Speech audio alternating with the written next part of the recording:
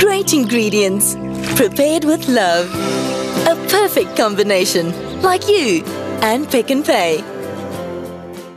So today we're talking pain, and I mean, there's not many foods I can think of, in fact any at all right now, that help you with physical pain.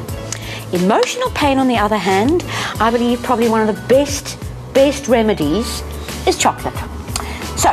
Today we're going to make a fantastic chocolate fondant. The idea is that the recipe is terribly simple, so that's painless, and then it's it's the ingredients in chocolate that help your body release serotonin, and that's that feel-good factor. So a beautiful, simple, simple chocolate dessert is painless in anybody's book. Okay, so we're going to start with 100 grams of dark chocolate and 120 grams of butter. I'm going to mix those together over a bain-marie, which is really just a glass bowl or a metal bowl over some boiling water. And you're going to let that melt. If you want this recipe, don't panic, you don't have to write everything down. You can go and look on the Pick n Pay website or go to the Dr. Mol website, whichever, whichever one you want to go to. And if you want the ingredients for the recipe downloaded to your phone, just SMS the number 33728, the keyword being pain.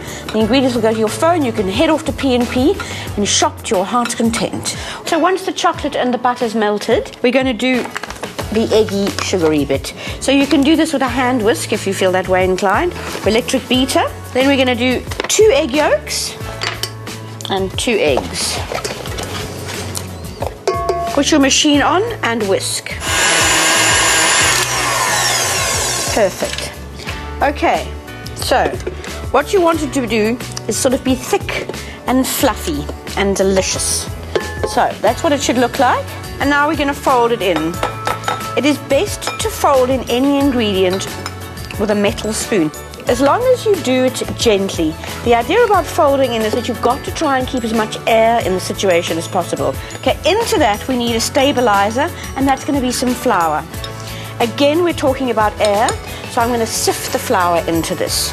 Right, so in it goes. There's not terribly much, so you don't have to do it in parts. Just sift all the flour, sift all the flour in, and then using your metal spoon, just gently, back to that gentle thing, stir it in, spreading it to look all chocolatey and delicious.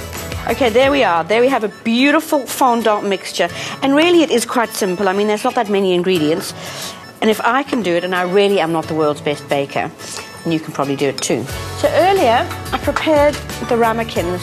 What you've got to do is you've got to grease them and then you've got to dust them with cocoa. Just makes everything beautiful and it also makes everything come out a whole lot easier. Once you've done that, you're going to spoon in the fondant mixture and then let them rest for about five minutes before you bake them. Right, then you simply pop these in a 180 degree oven for about 12 to 15 minutes. And when they come out, they'll be slightly puffed up. Just let them relax a little bit and then we'll unmold them and everything will be fine. Mm. I guarantee that after eating this, your life will be pain-free. And if it isn't, ask for your money back. I want to live the best life.